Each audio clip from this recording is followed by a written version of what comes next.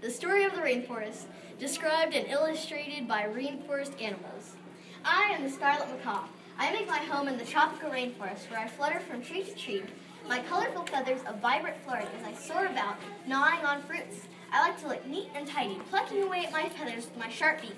After a day's work in the tropics, I enjoy nothing more than to crack open a juicy fruit and enjoy the canopy life. I am a panther. Your turn. I love my home in the rainforest where I bask in the sun of the forest floor. Lying on the thick branches of the outstretched trees, my sleek black fur is perfectly fit for roaming the cool, misty nights. My green eyes Higher. gleaming as I stalk my prey through the low light. There's nothing more satisfactory than napping through the day, remaining proud of the last night's hunt. I am a sloth. Lazily basking, hanging from the trees, their branches twisted in a tangled tuft, forming the layer of the canopy.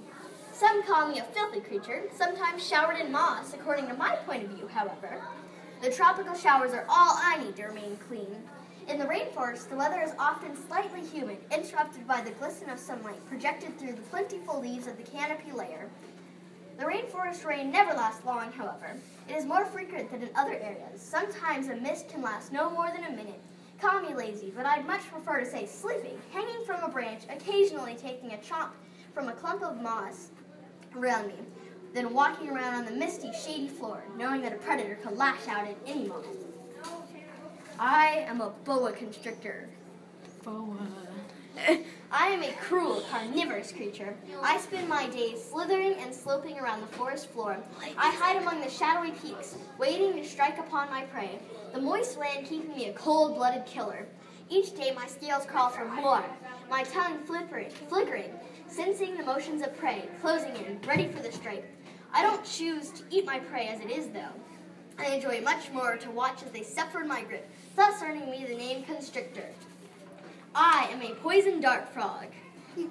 I make my home in some of the many rainforest plants. I take advantage of the water that has been savored and stored by the leaves and structure of a plant. Life is cruel in the rainforest, but when you're this small, usually you have plenty of predators to worry about. However, in my case, colors aren't just for show. My blasts of bright colors show that I am a creature to avoid coma predator's next meal. Try to nibble me and wind up with a mouthful of deadly poison. I am a lemur. I tussle and topple the, around the tree level, scavenging for fruits and insects. I scamper playfully through the forest treetops, bobbing just overhead the open, drooling mouths of my predators. I live life freely, hopping about, teasing the wide-mouthed big cats and crocodiles down below as they snap their mouths shut. I pull my tail away just in time, off to go around teasingly, living without a care in the trees. I am a jaguar. I roam the forest floor, tromping on twigs, licking my paws and whiskers, ready for my next meal. My spotted and speckled fur acts as a perfect exotic coat when it comes to blending in.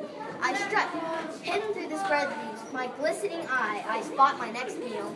After a fine dine, I clean up my paws and trot off to a sturdy branch, swaying my tail, satisfied with my meal, ready for a nap in my humble home the rainforest, where there are plenty of trees to lie upon and cool, moist shade to nap in after a day's meal of exotic, colorful meat. The end. Yeah, the rainforest.